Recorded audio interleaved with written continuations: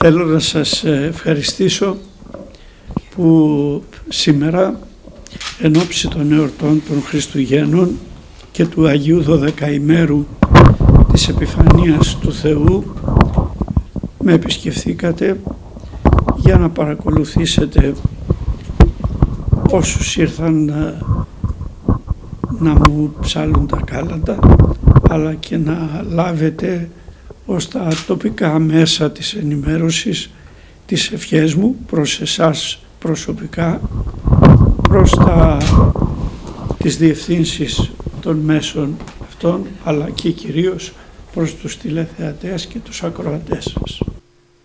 Το μήνυμα για την εορτή των Χριστουγέννων με λόγια που αγγίζουν τις ψυχές όλων έστειλε ο Σεβασμιότατος Μητροπολίτης Κορίνθου, κύριος κύριος Διονύσιος. Ένας επίσκοπος όταν γιορτάζουν οι άνθρωποι την ενανθρώπιση του Θεού δεν μπορεί παρά να είναι ευτυχής διότι ο Θεός είναι μαζί μας.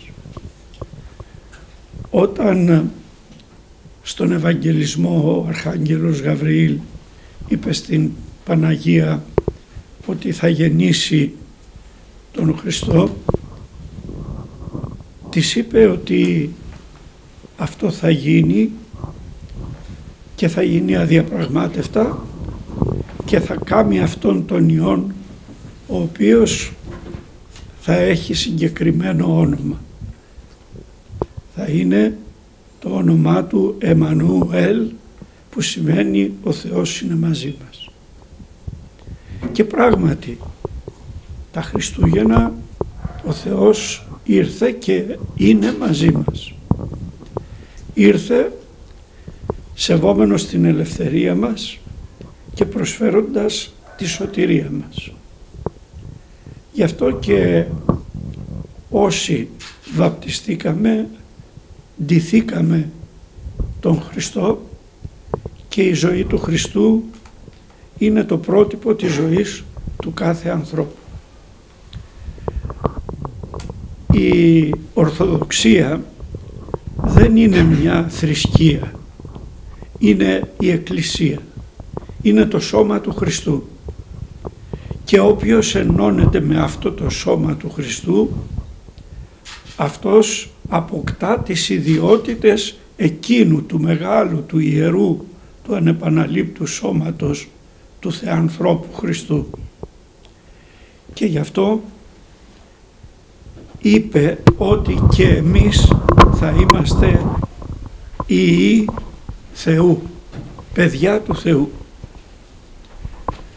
Δεν μπορεί λοιπόν κανείς να είναι χριστιανός και να μην είναι Υιός του Θεού. Όμως η πλάνη, ο διάβολος, η ευμάρεια και οτιδήποτε άλλο που μπορεί να παρέμβει αλλοιώνει αυτό το μήνυμα. Και γι' αυτό η Εκκλησία εθέσπισε και μάλιστα με τον όρο σήμερον να έχει ένα κύκλο εορταστικό και να μας θυμίζει σήμερα γεννήθηκε, σήμερα βαπτίστηκε, σήμερα σταυρώθηκε, σήμερα αναστήθηκε, σήμερα αναλήφθηκε, σήμερα έδωσε το Πνεύμα Του το Άγιο, σήμερα εθέωσε τον άνθρωπο ο Χριστός. Και αυτό το μήνυμα λέει το ακούτε εσείς οι άνθρωποι. Εγώ σας έδωσα τις αποδείξεις ότι αυτά είναι μια πραγματικότητα. Όποιος ελεύθερα τα αποδεχθεί αυτός και θα σωθεί. Γι' αυτό και εμείς δεν φοβόμαστε ότι λέγεται στον κόσμο σήμερα. Υπήρξαν κάποιοι οι οποίοι εκήρυξαν, μου αρέσει να το λέω αυτές τις ημέρες και να το επαναλαμβάνω κατά κόρο ειδικά στους νέους ανθρώπους, κήρυξαν την μεταάνθρωπον εποχή.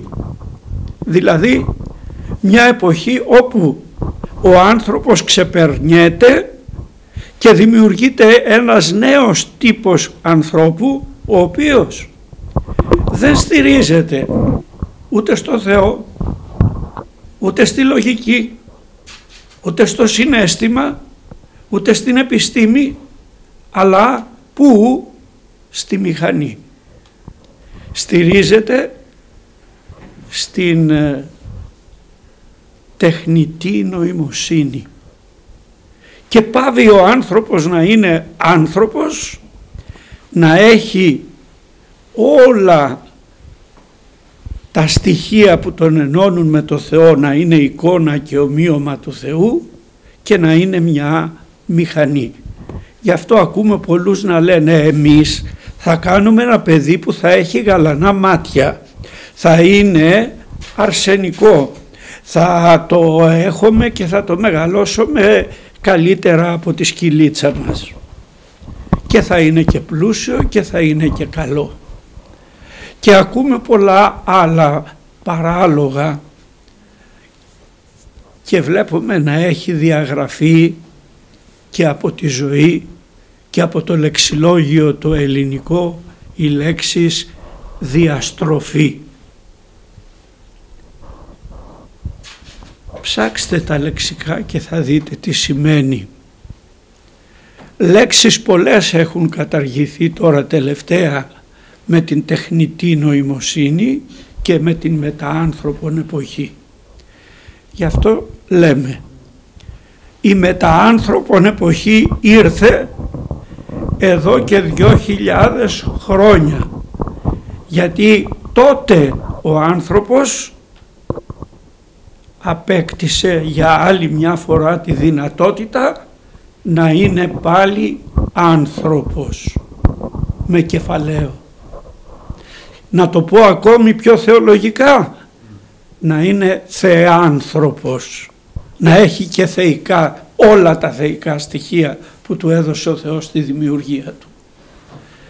Θέλω λοιπόν ως επίσκοπος όταν βλέπω τους ανθρώπους και δει τους νέους να είναι άνθρωποι και οι πρόγονοί μας έλεγαν ως χαρεί ένα άνθρωπος όταν άνθρωπος ή τι χαριτωμένος που είναι ο άνθρωπος όταν είναι άνθρωπος. Τώρα γεννιέται το τελευταίο μου ερώτημα. Είναι σήμερα ο άνθρωπος άνθρωπος; Για πάρτε τα παιδάκια του Δημοτικού Σχολείου και δέστε τα πώς συμπεριφέρονται εσείς τα προβάλλετε από τα μέσα της ενημέρωσης τα επεισόδια που είναι πια καθημερινά όχι στην Αμερική, όχι στην Ευρώπη, όχι αλλού, εδώ στην Ελλάδα, στην πατρίδα μας και στην πόλη μας. Για πάρτε τα παιδάκια, για ρωτήστε τα τι γιορτάζομαι, για ρωτήστε τα τι αποτελούν την βάση των ιδανικών και των αξιών μας. Τι τα διδάσκουν στο σπίτι και τι τα διδάσκουν στο σχολείο και τι τους προσφέρει η κοινωνία.